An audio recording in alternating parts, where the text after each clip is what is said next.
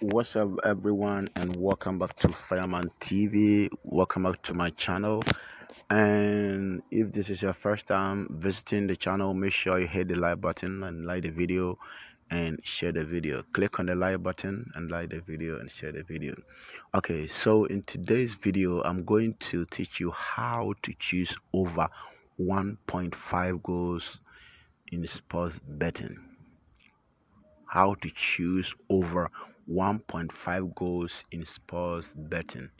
Okay so uh recently uh, the market has been upside down and uh a lot of uh stories in football.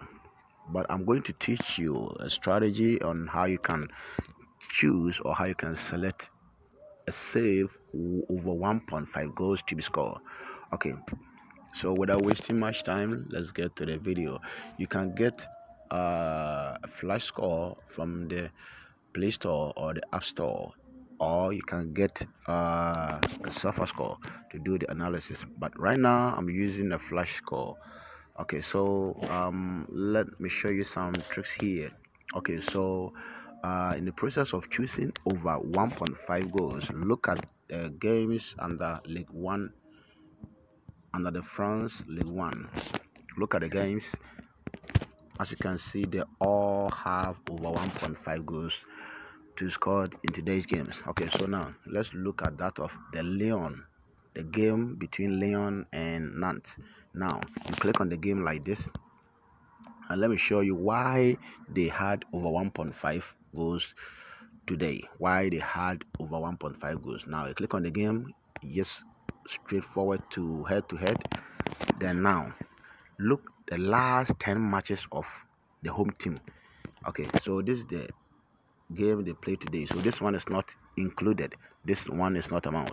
Okay so you can't you start counting from here. One two three and four five downwards. Okay so we start from Rangers versus Lyon. We count down the last 10 matches.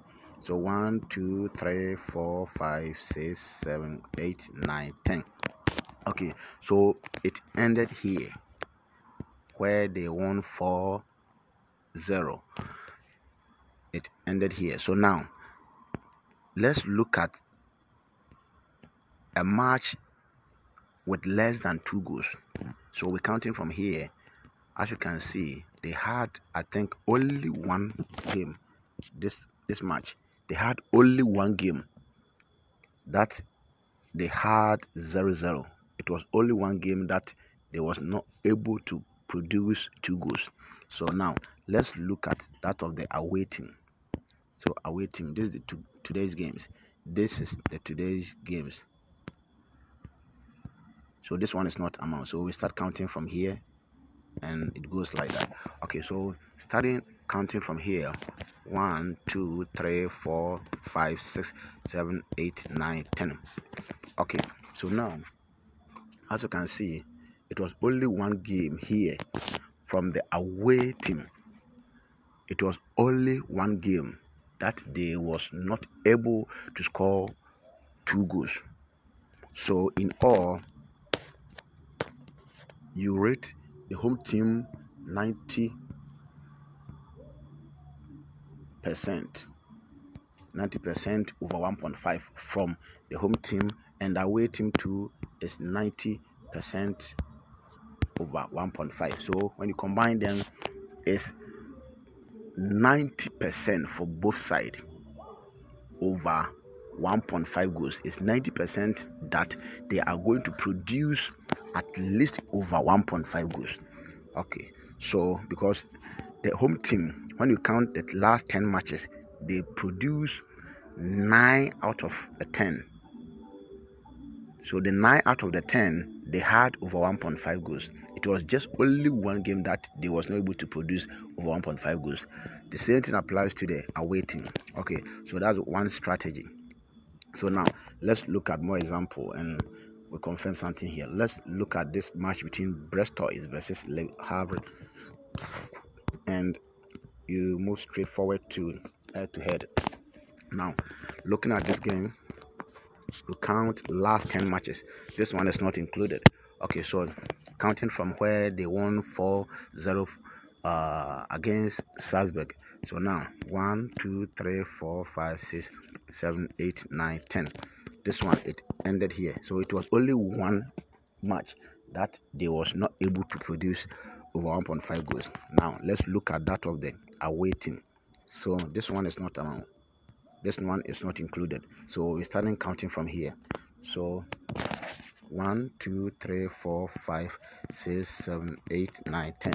And this one the away team they had 10 out of 10 they had 10 out of 10 so they had over 1.5 goals. And out of the 10 uh, matches they had they had 10 out of 10 10 out of 10 so it's 100 percent that this match they were going to have over 1.5 goals. Okay so combine it to the home team having 9 out of 10 so definitely they will have over 1.5 goals in this game. So now let's look at last example then uh we move on. Okay so now looking at this game between Reims versus Montpellier now we move on to head to head. Okay so now counting the last 10 matches from the home team. Now one two three four five six seven eight nine ten. This one too they had only one match which they was not able to produce two goals. Now let's look at that of the awaiting so now this one is not amount.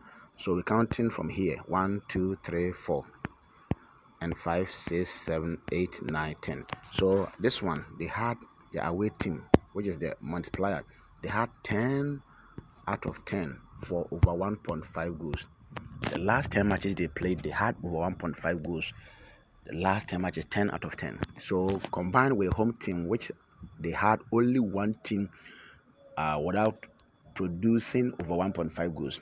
Only one team out of the 10, only one team that they was they were not able to produce over 1.5 goals for Reims. So in all you just produce over 1.5 goals. So that's how it is. So if you can take your time and do this analysis in the end you're going to win something. One thing about sports betting you have to have time for it. You have to have time for it. So for me i don't sleep early. Not because like i don't i like i like staying awake. Because you have to spend time.